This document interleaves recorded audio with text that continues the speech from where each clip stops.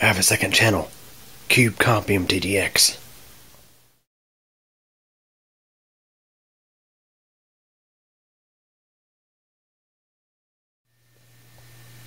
Hey everybody, so I'm working on repairing another one of the Optiplex 390s among the whole bunch I have back there. There's one right there. This is one of the ones that had a bad power supply, so I changed out the uh, power supply for this one here. It's a Bestec ATX 312Z. This is the uh, unit that I uh, repaired the blown out trace on. Been in my storage bin for close to a decade. But uh, it's working fine, powering this machine just fine.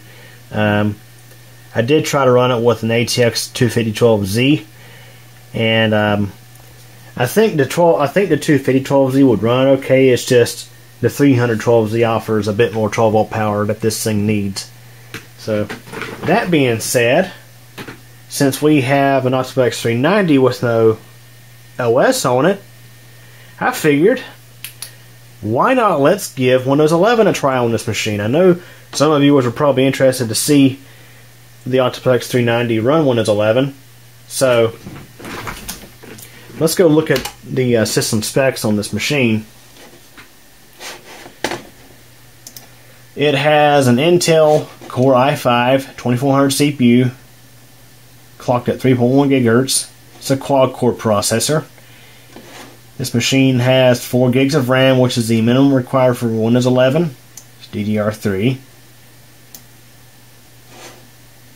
We have a 250 gig hard disk drive. No, we don't have an SSD in this one. Uh, we have just the factory 250 gig Western Digital Caviar Blue hard drive.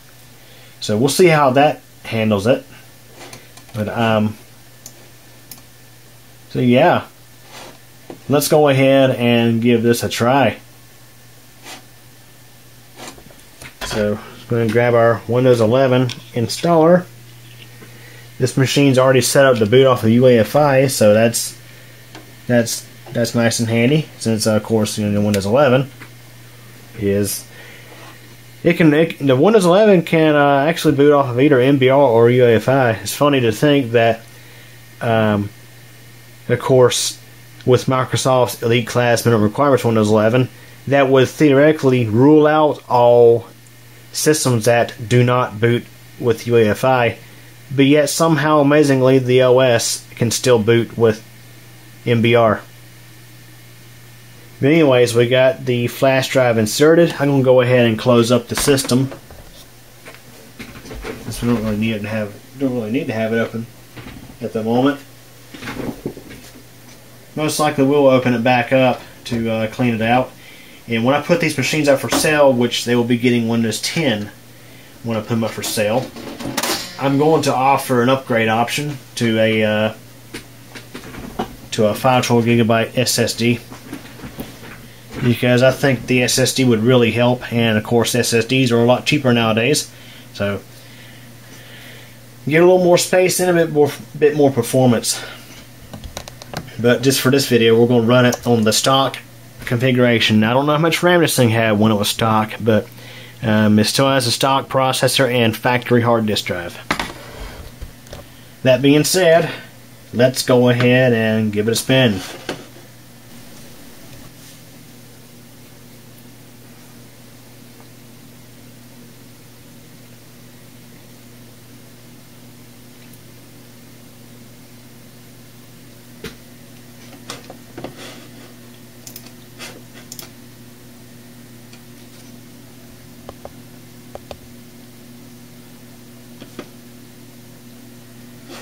To skip this part. I believe this machine actually has a Windows 10 Pro digital license, so we're going to choose Windows 11 Pro.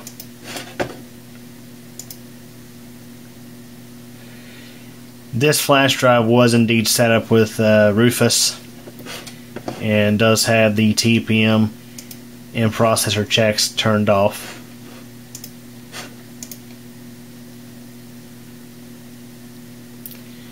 Interesting. There's actually a. Uh,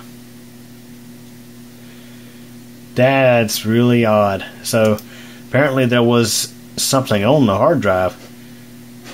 I don't really know what's going on there, but anyways, go ahead and just wipe it. Just go ahead and just hit delete on all these. And of course, this one here is the flash drive itself.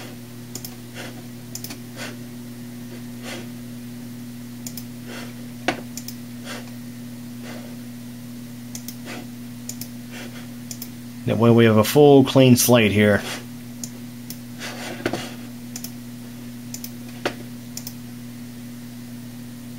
Now, before one of you guys asks me why I don't just click next right away, and when I do the new and apply, it's because I want to make sure that Windows setup properly places the system reserve partition, which has the uh, basically the bootloader. Sometimes it will place it on the wrong drive. I mean, I, that's happened a couple of times. It typically happens in systems that have multiple hard drives, or if you are installing a different copy of Windows on a machine that already has, like Windows 10 or Windows 8, for example. So we're going to select Next and let it install. Okay, so I've got Windows 11 installed. Just need to run through the uh, out-of-box setup and let's see how things run on this machine.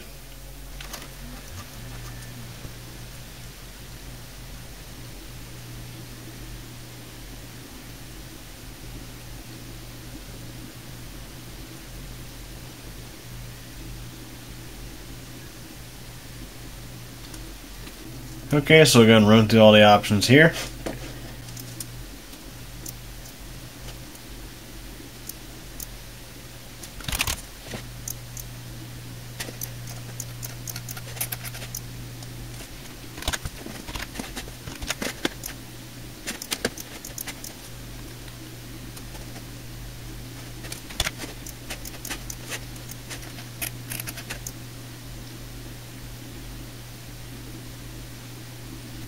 We're still waiting on the taskbar to load.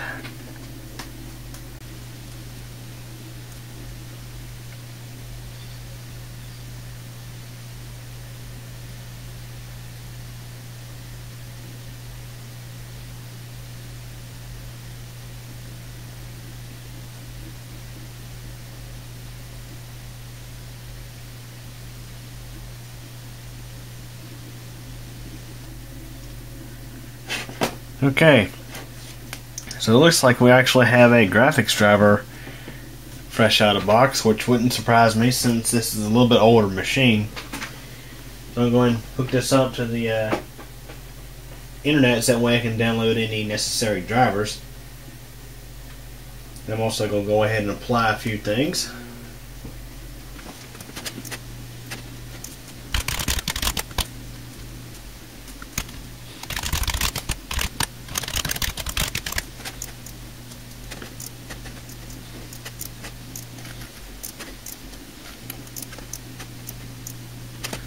So it appears we actually have sound on this. Although it's just a pretty, pretty wimpy uh, built-in speaker.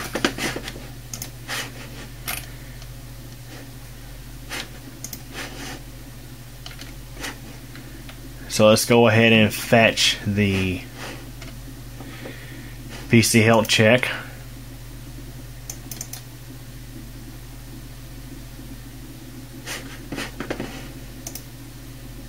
And while that's going, to go into settings and fix the date and time.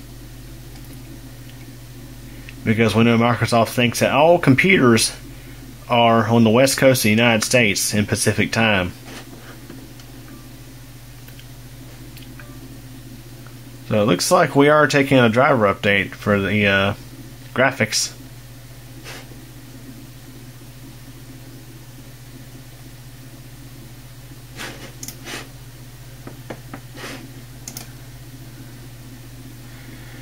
You know, instead of instead of asking the important questions like what is the current date and time and what time zone you're in, setup nowadays is more concerned about uh,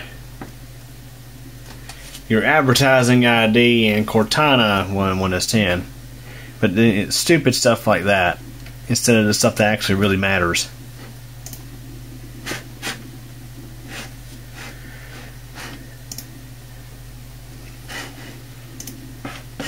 And let's change everything to dark mode.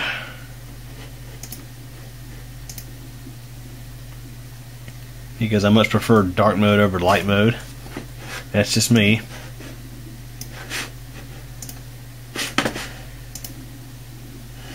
So we can see that transparency is working properly. Let's finish installing this.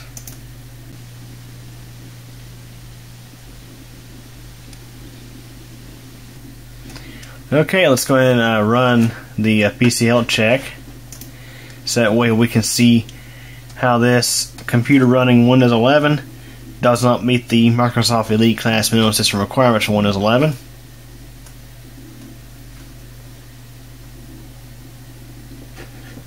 It's funny. Introducing Windows 11. Yet we're running Windows 11. Ah, the PC does not. The PC must support Secure Boot. TPM 2.0 must be supported and enabled. The processor isn't currently supported. However, the memory, the system disk, and the processor has two or more cores. I mean, everything else here these three items here, which would typically be the minimum requirements, are all met, but all this stuff here isn't met. Which, as I've said in previous videos like this, um, come 2025, Microsoft's going to have a decision to make. Are they going to support Windows 10 for additional time, or are they going to finally give in and relax requirements for Windows 11? Because, I mean, if they don't, we're going to have a lot of Windows 10 computers out there that just simply be running without any security updates.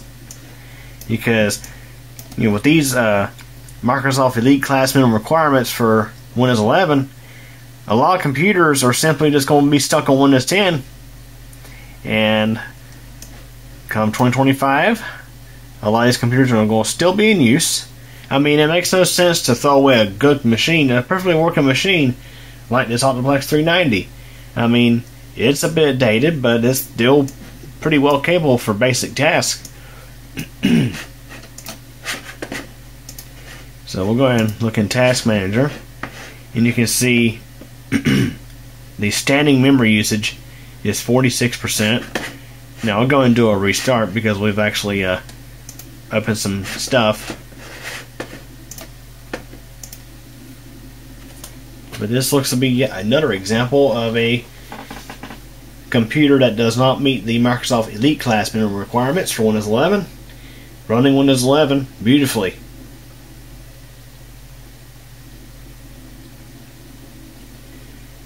Despite this, uh, I still can't exactly recommend installing Windows 11 on a computer that you're selling. And the reason is, one of the reasons is because when a new Windows 11 platform update comes out, computers running Windows 11 that don't meet the minimum requirements will probably be locked onto the existing Windows 11 version because Windows Update will probably say this computer does not does not meet the minimum requirements run Windows 11, therefore you can't install the new Windows 11. And I've heard that Microsoft is going to be putting watermarks and stuff on machines that don't meet the Microsoft Elite class minimum requirements, but we shall see when the next build of Windows 11 comes out. I'll be doing some testing with that.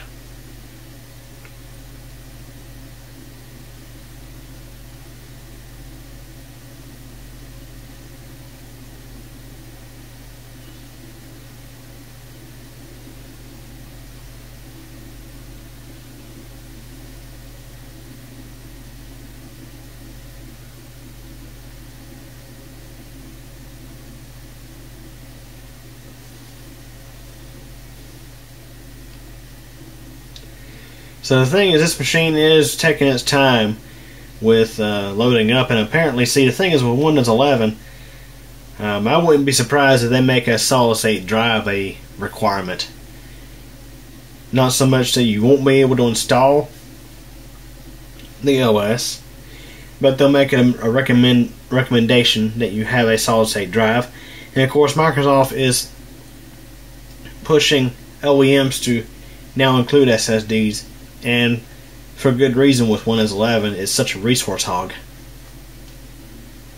So in a future video, what I may do is I may um, do a computer, not exactly this machine here, but an older system from let's say the Windows Vista era.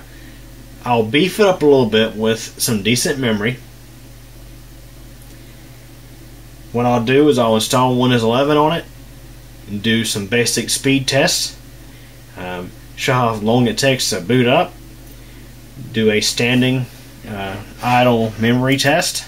Show how much show how much RAM is being used just at idle.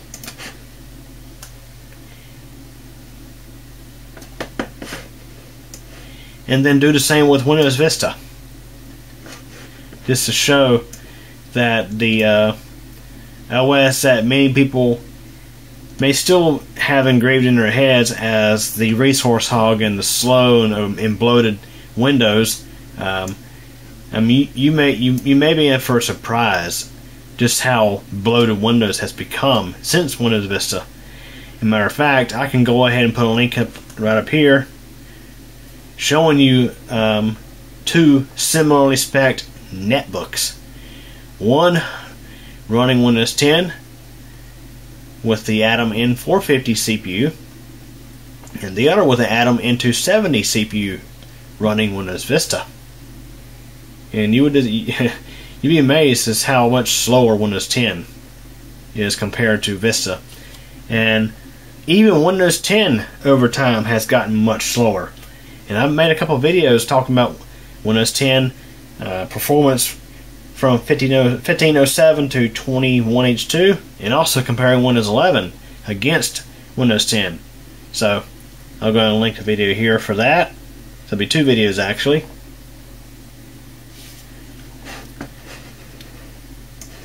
So yeah guys, I want to cut it kind of short here, but uh, I've done so many of these videos, I mean it's pretty much know the drill.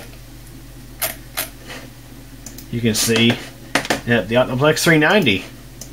This system from 2012 is running Windows 11 beautifully. A bit slow because of the hard drive, but if we were to swap out the uh, hard drive for a solid state drive, this thing would run very snappy, I guarantee it. Because, I mean, you look here, our CPU usage is relatively low. I mean, it's not doing much there. And the standing RAM usage, by the way, um, is now 35 36%, which is not terrible. This machine has the minimum recommended memory requirement for uh, Windows 11, 4 gigabytes. So there you have it.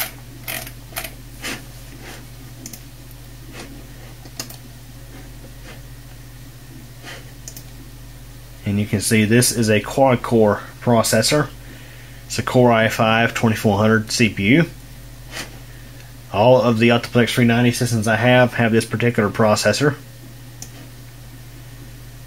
So yeah, that's another example of an older system running Windows 11 just fine. So anyways, we're going to shut this down. Hope you enjoyed this video. Thanks for watching.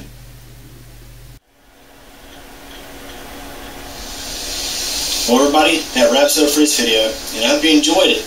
If you did, please like the video. Also, don't forget to subscribe to Computer Channel, and be sure to tick that bell so you'll get notified when new videos are posted. Also, don't forget I have a whole lot of other interesting videos here on the channel to check out. And also, in addition, I have a second channel, CubeComp MTDX, where I have all sorts of other videos not exactly related to technology. Links to the channels are available at the end of this video. Again, I thank you for your support and thanks for watching this video.